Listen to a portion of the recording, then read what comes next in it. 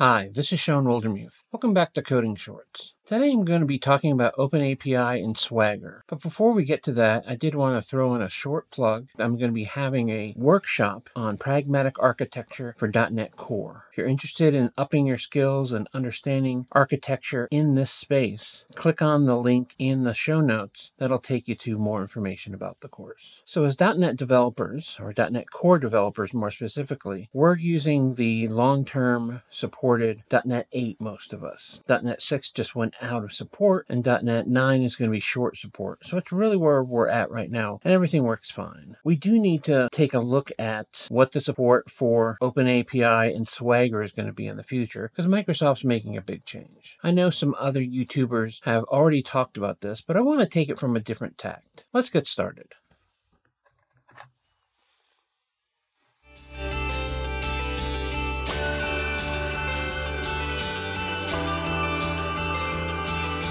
So I'm going to start with this little project I have called Bechtel Server. And this particular code is going to be available on GitHub slash Shawn Wildermuth slash coding shorts. That's where all my examples for these videos are. There's over a hundred of them now. So if you're curious at just looking at a lot of code, it's a good place to go as well. Let's go ahead and actually look at the project file. And you can see we're targeting 8.0. Don't have to worry about the rest of this, but we're also targeting Swashbuckle, which is a wrapper that allows you to have OpenAPI being generated generated for you, and Swagger UI, which is a website that you can use to test your APIs. So let's just see what this looks like before we make any changes. And if we go to Swagger as an endpoint, we get this, what might be familiar to a lot of you, a website that includes all the information about the APIs we have on our project, including being able to go ahead and set actual values. So I could look at this first call, that's just get all the films. And if I click try it out, I can go ahead and just execute these. And you'll see that it's going to return a long list of all the films that this server supports. Very useful, very interesting. This is likely not going to be easily supported as we go forward. So I want to talk about some options because what is really happening with Swagger is a couple of things. So if we go to the swagger.json, this is actually an OpenAPI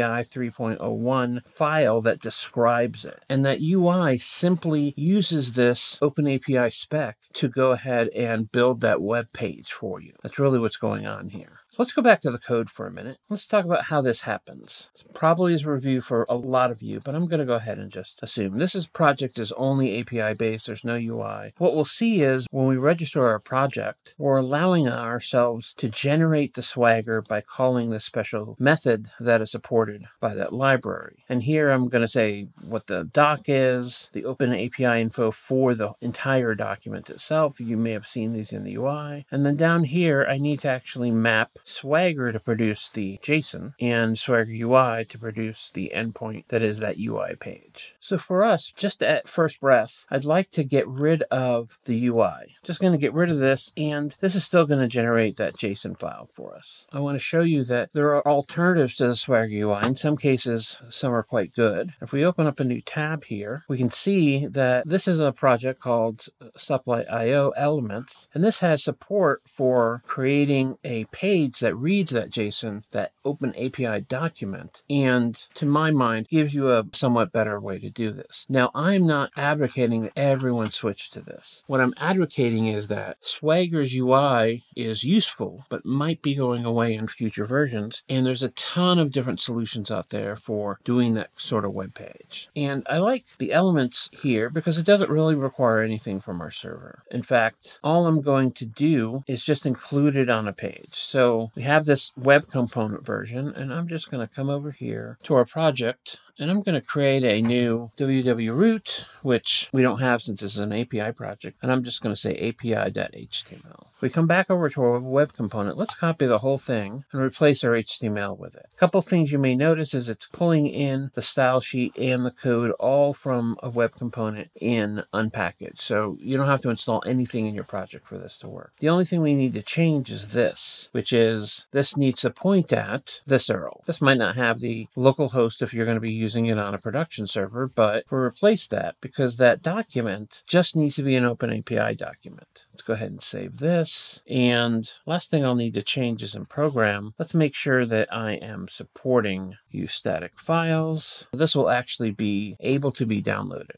Let's go ahead and run this again. And I'm just going to change the URI here to say api.html. We are still generating the same open API, but this is another solution for actually working with it. I like this a little better because I find it a little more compact. We can see the different schemas, we can see the different APIs. And if we go to that API years again, we can actually just go ahead and send that API request. Oh, that's years. If we go to get all names was defined in our API as the API name for these. These just have the URLs associated with them, but this get all names is that API films we saw earlier. Let's go ahead and send the request. We can see here, actually make it smaller, it's a little easier to see. You can see the whole response here. We can actually see the headers if we want. And it even is going to give us the way to launch this through curl or what an example of that response is. And so this isn't changing anything about how you're building your API. It's simply allowing us to do the same work without having to rely on someone else's API. You have choices, and you can see with this project that the choice of just including an HTML file is simple and easy. And so you don't have to necessarily opt into a lot of those things. So let's stop this for a moment. We're going to go up and add a new dependency. And this new dependency is a project that actually already exists and you can use today. It's Microsoft Open API. I'm going to go ahead and include that. Now we can actually use it in our app. So let's comment out out all of the Swagger stuff. So let's get rid of the endpoints. Let's get rid of the Swagger gen because it's this code that's going to be going away eventually. So I want you to see what you can replace it with. Let's get rid of the app Swagger here. I'll leave it commented out so you can see where it's actually being generated. That's really all we need right now. And what we'll need to do now to replace these is actually add a new package. And what we're looking for is this Microsoft ASP.NET Core Open API. Now we don't want the 9 version. Let's go ahead and get the latest stable version that's 8.0. Just uncheck that include pre-release and it would have been a little clearer. Go ahead and uninstall that. And with that, if we open up that API, we can actually annotate these with with Open API. And there's a couple of different options here. One is you can pass in a configuration object, and then that gives you ways to extend the different pieces of the Open API configuration, though it's still going to use produces, produces problem, all of those things you normally put in there. So in a lot of ways, we can just use it as Open API. Let's go ahead and do this to a few of them, just so we know that we're going to have this on a couple of them. But how do we actually get this to work? We can't just say app.use open API. There's no support for that. That's because this version of the library here is just allowing you to annotate it with extra OpenAPI pieces that Swagger can read. But that's not really what we want. We're going to need to upgrade the project to 9. And I'm running a preview version of 9, but I'll go ahead and save that. And let's go ahead and upgrade our NuGet packages as well. Do need include release there because we do need the preview version. Let's go ahead and update it. Now in Programmer, we're going to need to do a couple things. First, we need to, unsurprisingly, because of if you've built ASP.NET Core, you probably know where this is coming from, add open API.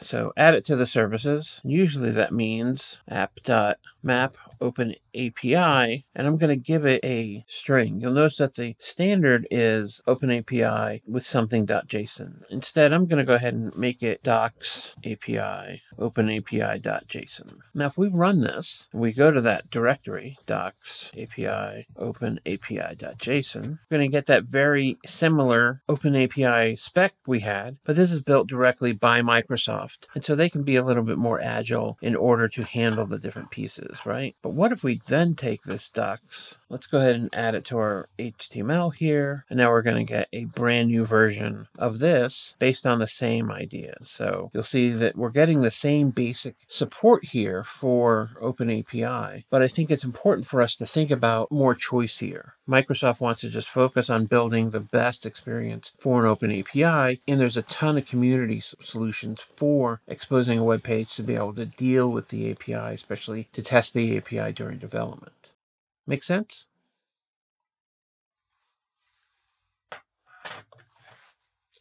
So this is kind of a simple concept. The Open API assembly is going to take over the role of producing the Open API spec for you, but it's going to give you the opportunity from 9 on to easily pick what you're going to replace Swagger itself with. Now you don't have to replace it. SmartBear, who handles the UI piece, might find a way to extend it and you can continue using it, but I do want to give you sort of a nudge to look beyond Swagger at other solutions that can do the web pages where you can manipulate manipulate the API and test the API because you might find better solutions for the kinds of things you want to do. Because this whole piece here is just code and you can use it in your SPA applications or you can use it in server side to render certain things, you have a lot more control than just depending on what Swagger looks like, how it acts, etc. I hope this has been helpful. I just want to drop a quick plug, just like in the beginning of the video, for my pragmatic architecture for .NET Core. You can see the sign up link at the bottom of the page here, as well as in the show notes. So if you're interested, the early bird, which is still available for 199, it's a full day virtual course, and it's going to cover what architecture is and then the different ways to think about architecture in a more pragmatic way. Until next time, I'm Shawn Wildermuth.